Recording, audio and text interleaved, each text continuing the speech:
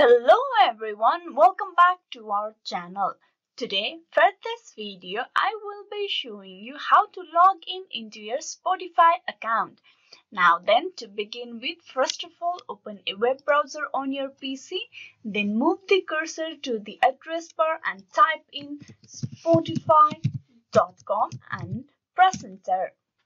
Now that you will be directed to the official Spotify homepage you can see at the top of the right side, there's option of sign up and login.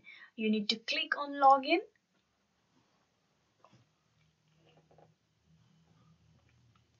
Spotify. To continue, log into Spotify. Continue with Facebook, continue with Apple, continue with Google are the three options of how you can log in into Spotify.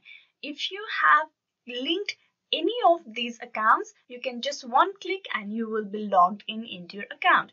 But here we're going to provide our email address and password of Spotify to log in. Type in your email address in here.